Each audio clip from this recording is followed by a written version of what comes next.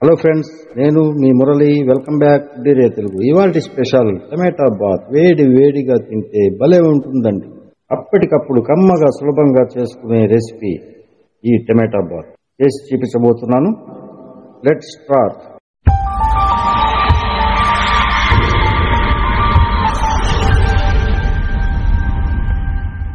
ముందుగా రెండు టేబుల్ స్పూన్లు వేరుశెనగ వేసుకుంటున్నాను.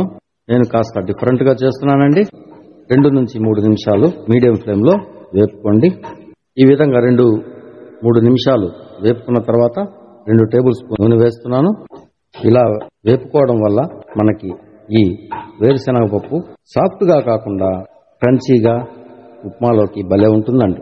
ఇప్పుడు ఇందులో కొన్ని జీడిపప్పులు వేస్తున్నాను. ఈ జీడిపప్పు ఆప్షనల్ మాత్రమే మీకు నచ్చితే వేసుకోవచ్చు లేకుంటే అలాగే వదిలేవచ్చు ఇలా రెండు నిమిషాలు లో ఫ్లేమ్ మీద వేపుకున్న తర్వాత జీడిపప్పు లైట్ కలర్ మారుతుంది.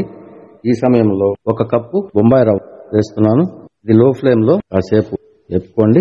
మరో మూడు నిమిషాలు ఈ విధంగా వేపుకుందాం. ఇలా వేపేటప్పుడు ఏది మాడకుండా ఈ విధంగా కలుపుతూ వేపుకోండి. ఈ విధంగా వేగిన తర్వాత ఒక బౌల్లోకి తీసి పెట్టుకోండి. ఇప్పుడు ఇదే పెనుములో ఒకటిన్నర టేబుల్ స్పూన్ నూనె వేసుకోండి. వేడెక్కిన నూనెలో ఒక టీ స్పూన్ ఆవాలు వేస్తున్నాను. ఆవాలు చిటపటలాడుతున్న ఈ సమయంలో ఒక టీ శనగపప్పు వేసుకోండి. ఒక టీ స్పూన్ మినప్పప్పు వేసుకోండి.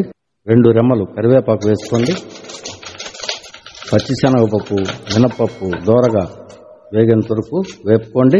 దోరగా వేగాక ఒక మీడియం సైజ్ ఉల్లిపాయ తరుగుని వేసుకోండి. ఉల్లిపాయని ఎక్కువగా వేపాల్సిన అవసరం లేదండి. కాస్త ఉల్లిపాయ మెత్తబడే వరకు వేపుకుంటే సరిపోతుంది. కాస్త రంగు మారి మెత్తబడిన ఈ సమయంలో మూడు చిన్న టమాటాలు సన్నగా తరిగి వేస్తున్నాను. వేసుకోండి. దీంతో పాటే కొద్దిగా అల్లం తరుగు చిన్న ముక్క అల్లం సన్నటి తరుగు వేస్తున్నాను. దీంతో పాటే పచ్చి బఠానా వేస్తున్నాను. దీంతో పాటు రెండు పచ్చిమిరపకాయలు తరుగు వేస్తున్నాను. వీటితో పాటు రుచికి సరిపడా ఉప్పు వేస్తున్నాను. ఉప్పు కాస్త తక్కువగానే వేసుకోండి. ఎందుకంటే మనం చట్నీలో తింటాం కాబట్టి రెండు కాంబినేషన్లో బ్యాలెన్స్ అవుతుందండి. టమాటాలని బాగా మగ్గేంత వరకు ఉడికించుకోండి. ఇప్పుడు ఇందులోనే పావు టీ స్పూన్ పసుపు వేసుకోండి. టమాటాలు ఈ విధంగా మగ్గిన తర్వాత మనం ఏ కప్పుతో రవ్వ తీసుకున్నామో అదే కప్పుతో మూడు కప్పులు నీళ్ళు పోసుకోండి.